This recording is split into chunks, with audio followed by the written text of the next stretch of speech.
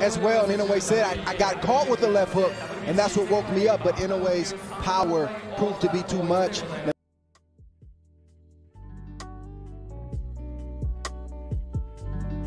Yep, you know what time it is, man. It's of course your favorite channel, man, CTB. It's Chin Tucked Boxing. I'm your boy Jay Slay. So what up to him, man? What's up, everybody? Thanks for tuning in. Most definitely. You are tuning into our raw review, man. This is our raw review of a fight that came on earlier this morning, man. I ain't gonna lie, I was knocked out of my bed when the fight was live, but I did watch the playback. Uh Monster Inoue versus Nonito Donaire, man. I'm not gonna lie, it, it went exactly how we thought it was gonna go. Like, my boy Mon called it. He said uh, when Donaire tweeted, I did not get an interview. He said that uh, his heart was bigger than Inoue's punches. We found out that wasn't true, man. We found out his heart wasn't as big as Inoue punches, man. Either his heart wasn't big enough or his chin wasn't big enough. I'll let you guys decide that. Uh, but also, we found some conspiracy, maybe a conspiracy, quote unquote. Uh, something was going on in, in Inoue's corner, man, that I want to bring to y'all later in this video. So stay tuned. We're going to show you the conspiracy that we saw in Inoue's corner and get your take on that. But first, let me get my take, my boy Mon take on the fight. What you think about the fight, man? Um, like I said, Inoue is the monster, man. He's a pound for pound fighter. In my pound for pound list, I have him, you know, around five, six in that range. I think uh, he's a great fighter, man. I think the thing that he lacks is he's in a smaller division. I think the competition level is not as high as it is in you know the 130, 135 pound divisions. So it's hard to try to figure out how good he really is. You know, I, I, know he's a good fighter, but I don't know if he's great. And I know a lot of people might uh, get upset about that, but it's sad when Donaire, who's 39 years old, is holding a belt, and he's one of the best opponents you can fight. When you know he's way past his prime. When uh, Rigo beat the shit out of him in 2013. This is 2022. That was nine years ago when Rigo beat the shit out of him. So we know Donaire is not where he used to be. Now, in my opinion, the, the Donaire from 2012, 11, 13, I would have been able to see where Inoue was, and I would have favored Donaire in that fight over Inoue today. Because to me, Inoue has a lot of holes in his defense.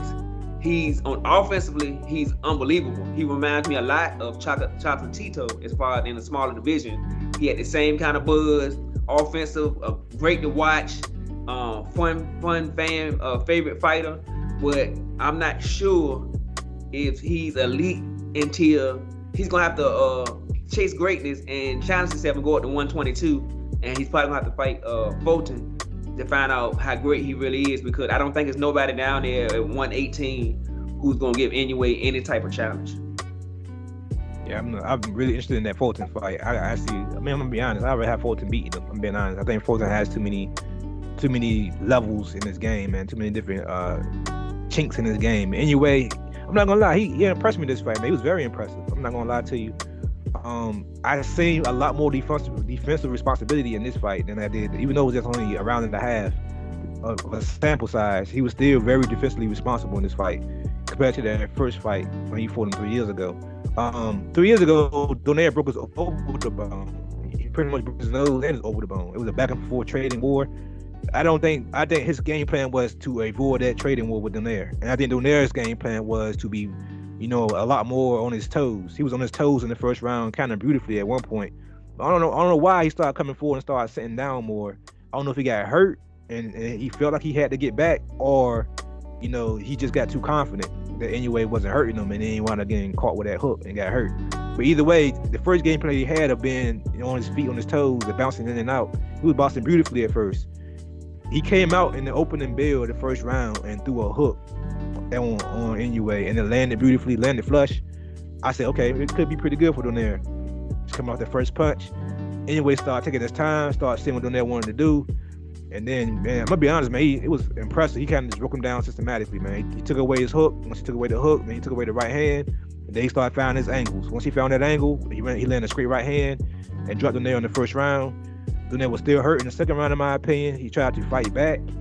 And uh, Inoue, threw a beautiful hook, man, between the gloves. Donaire had his hands up, but it went between the gloves. It was like almost a slow reaction. Like you, you tell they called him clean. It was almost a slow reaction, but it, it buckled him like real, real bad. And it was over. It was all she wrote after that, man. It was all she wrote. He finished him, man. Um, I'm gonna be honest, man. He's he's like you said, he's in top pound for pound status right now. But he, what would you rate him as a finisher now that he finished on there in that type of fashion? What would you rate him as in closing out big fights like that? Um, he's elite when it comes to finishing fighters. I think he's in that same category with uh Tank Davis and Terrence Crawford. When it comes to when you hurt, they it's pretty much ball game. So I, I would put him in the same category with those fighters as far as being they know how to finish. Like when you hurt, you're not gonna get away. If, it, if it's 30 or 40 seconds left in the round, they gonna they gonna pitch you away. So he's definitely elite when it comes to um, finishing off fighters. Most definitely, he got heavy, heavy hands, man. I don't know. But if onto the conspiracy real quick. I don't keep you've waiting with the conspiracy. You gonna see the clip on the bottom of this, on bottom of our screen. Uh, it, it, he was wiping his trainer was wiping his gloves with a rag. I never seen that in my in my years of watching boxing. I don't know, if they was over there in Japan, so I'm assuming they got different rules and different sanctioned the bodies over there. They allowed them to do things like that. But I never seen, especially in the, after the first round, what could have been on his gloves that had him wiping his gloves off, or what was he putting on his gloves? I'm not sure. have you ever seen somebody getting their gloves wiped between rounds before? No. Know I say I it was weird when you showed me the video this morning. I didn't catch it right away, but then you sent me the video and I thought about it. I went I, went out on the job today and I was thinking about it in my head. What could be the reasoning for wiping the gloves off?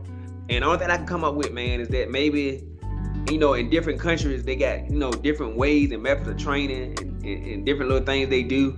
And maybe they feel like they gotta wipe the sweat or whatever off after each round.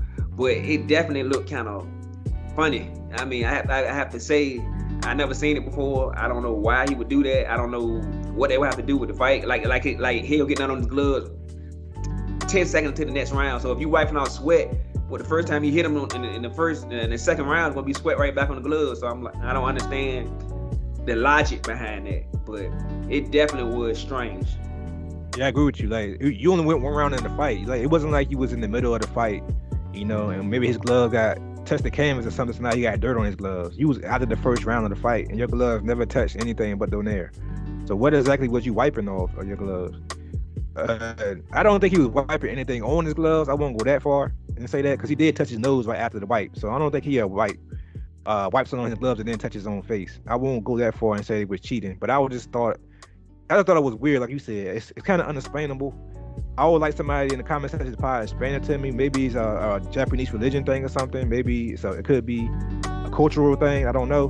But to us here in America, it looks it looks weird, and it, it, it leads to asking a lot of questions like because we're so used to the corruption of boxing here in the states that we we try not to ostracize uh, ostracize anybody and try not to jump to any conclusions with anybody, but it leads to questions my opinion. If anybody, I haven't heard about, seen anybody else talk about it yet, but maybe they haven't seen it. Maybe I just had that eye for it and I just caught it. And I was like, what the fuck are you, they doing with his gloves right there? It look, look weird. But uh, what do you think Donaire goes from here, man? Um, I think he need to go ahead and fight uh, um, Paul, the the Britain fighter. They go ahead and be undisputed at 118. No, uh, Donaire, my bad. Donaire, oh. not Inoue. We get to Inoue in a minute. What do you think, yeah. Donaire? Yeah. Donaire. Yeah. Oh, Donaire needs to retire. he didn't did enough for the sport. I, that one and a half rounds, his reflex was a little too slow for me, and he's not as fast as he used to be. He can't take punches like he. I know it anyway, but I just saw a lot of things that I see from a lot of old fighters. The, the delayed reaction, you know, being a half a second late on, on his changes that he would have been way more fast on. Even three years ago when he fought uh, uh Inoue and put him on his butt, put Inoue on his tail. So I just think that he don't got nothing else to prove. He one of the best little man boxers, you know, to ever uh, lace up a pair of gloves. So I think to me, to just go ahead and retire. Nothing else for Donaire to uh, prove at this point. Yeah, I agree with you, man. I'm a I'm a huge Donaire fan. I actually, I'm not gonna lie, I actually was rooting for Donaire against Rigo back when they fought in 2013. I thought Donaire was the goods. This was, but this, I will admit, this was before I knew who Rigondeaux really was at that point. I knew who Rigo Rigo was, but I thought Donaire was going to catch him because at that point Rigo was unproven at that point. But that fight made me a Rigo fan most definitely. But ever since then, it seemed like whenever Donaire got in a big fight, he always struggled. It seemed like after that the Rigo fight, every big fight after that, he struggled in. Um, he he went down in weight for, for Inoue. He went down from the 22s and the 20 pounders to the to the team pounders. So being older, dropping more weight, being older again, like I said, really, really, really older. Like you said, it was ten years ago, nine years ago. So yeah. he went from ten we about uh, Rigo. Yeah, so that was his. That was the back. That was pretty much the middle of his prime. So that was ten years ago. Come on now. So it's time. It's time for him to hang him up. If he can't be competitive at a championship level at this point in his career, I think he should just hang it up, man. We don't want to see another. We don't want to see him be another fighter that just get put out of the game in a very violent way. This was violent enough. We don't want to see him get put out any more violent than this. Uh, well, while you was going too early, what do you think Inoue should do next? What do you think Inoue should do? He need to go ahead and fight uh, Paul from Britain. Go ahead and um, become undisputed champion at 118. Like I said, he can wrap that up and finish that division out. And then after that, man, I think he need to go ahead and challenge himself and chase greatness. Um, like we like we asked other fighters to do, like we asked Charlo to do, like we asked Mayweather to do, like Canelo tried to do, uh, like uh, Wilder tried to do with Tyson Fury. He needs to go up to 122 and chase greatness. Um, like I said, I got him at like number five. And I know people say, well, he a three division champion, the champion at 112, 115, 118, you a hater. No, I'm not. The the the, the, the uh, competition level down there compared to 130, 135, 147 is totally different.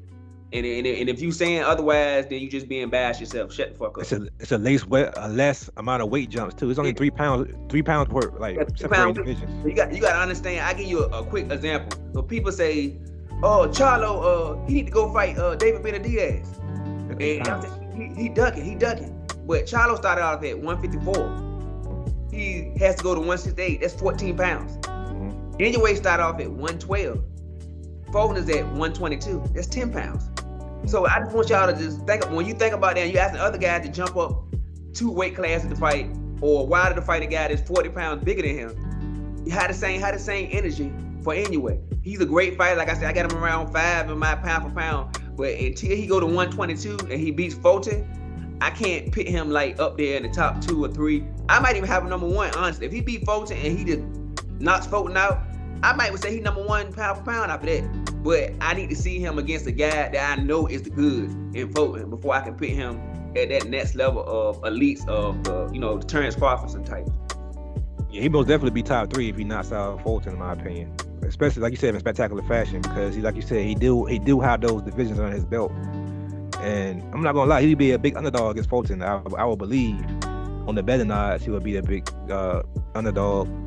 So if he does go up in weight and knocks out Fulton, yeah, you have to give him his credit, man. I will put him top three most definitely at that point. Um, I will say this, like I said earlier in the video, I think Fulton will bring a different level to him. I think Fulton has different wrinkles in his game that I don't think he ever seen before, in my opinion. I don't think anyway, and would see. I don't think he would. How can I say? I think he'd be well prepared for a, a Fulton fight, but I'm not gonna say the size would be too much for him. I just think the punch difference would be too much for him. I think Fulton have, has enough pop to hurt somebody coming up and wait. Will Fulton stay at 22 long enough for him to get there? Is the question. Because like you said, he want to unify first before before he go up. So will Fulton be there long enough? You know what I'm saying? Cause I think he's trying to unify himself. So when he unify, will Fulton be unifying and then looking to move up? or will he stay behind and wait for that big Inoue fight? Cause they'll be huge, man. I'm not gonna lie. They can fight somewhere in the states, fight in Vegas. I don't see him going to Japan. Maybe it, I guess it all depends. Inoue has the bigger name. Yeah. So I think he might wind up going to Japan or somewhere neutral. But yeah, it, it would be big because you would have the 118 pound undisputed undisputed champion against the 122 pound undisputed champion. If he can get the belt from the other two, they they're in the same position. They got one more fight to be undisputed. So if he can get the belt and at 122 and he get all the belts at 118, you have the two undisputed champions fighting as I guess be the king of the little men of boxing. Most definitely. That's why it'd be so huge. It might wind up being. I was saying, I thinking when you was talking, it might wind up being in Japan too. But I, in my opinion, that whole going across seas excuse, since Devin Haney went across seas and, and took those scraps, there should be no excuse for no more young fighters. If I'm if I'm if I'm Stephen Fulton I'm going to Japan and get those straps. Uh, uh, defend my straps at that point against that and get that. If he knocks out Inoue, he will have that casual crowd behind him. So then he can move up and wait and fight. You know the the Gary Russells of the world. You know what I'm saying? He fight the, the next division up and be the bigger A side. Because right now, if he go up and wait, who who would be the biggest fight for him if he move up and wait? Would it be Gary Russell? Yeah, probably be Gary Russell. Unless you want to see uh, him in a Figueroa fight again. Um, him uh Lil B Hop is 130, right? 130? Lil B Hop. Uh, yeah, I think he's 130. Yep. Okay, so it, it would it would be um Figueroa and or, or um Russell. Yeah. So he might wait for that fight. He's not gonna make that Inoue money nowhere else, in my opinion. So, all right, make that thing else. I'm just saying, if he fights in Japan, he get him a nice check, so he might want to consider that. Most definitely, most definitely. But with that being said, man, you got anything you want to add, add to this video? I think we covered it all. All right, with that being said, man, it's of course your favorite channel, man, CTB. This is Chin Tucked Boxing. I'm your boy Jay Slay. Say peace to him, man.